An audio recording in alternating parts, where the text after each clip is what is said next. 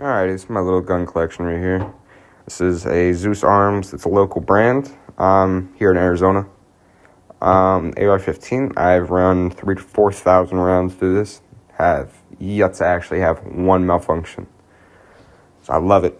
Uh, Radar, fucking Radiant Raptor charging handle. Taurus G2C. Three extra mags. Um, 12 round, 15 and 18. P80 Glock 17. 17 round. Just built this. This is fresh right out the box. It's my first gun right here. It's a little 22 Cricket bolt action. I love that thing.